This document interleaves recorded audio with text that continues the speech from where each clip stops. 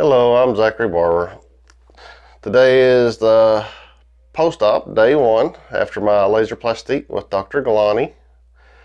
The what brought me here was three years ago. I had a found out I had keratoconus.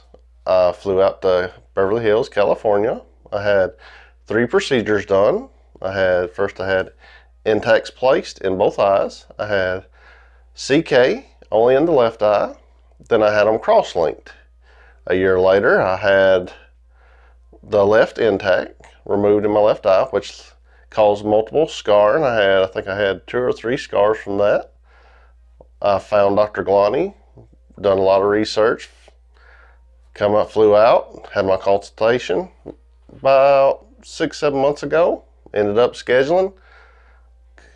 Couldn't uh, come out yesterday and finally had my LaZrPlastique and removed all the scarring. Couldn't ask for a better outcome. He went found out I had more scars than what are intentionally, and he removed them. Went the extra mile, and today I couldn't ask for a better outcome. And look and see what the future holds.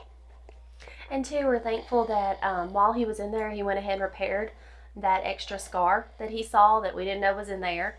Um, saved an extra trip out, saved an extra procedure. We're able to heal it one time, less trauma for the eye. Um, so I appreciate that. And we also were glad to get an answer. He was able to explain what had happened when that intact had been put in originally and why it hurt so bad. Um, so now it's not like it was all that he, he wasn't imagining the pain that he was having. We now know why it was hurting. So it's good to have answers on that too.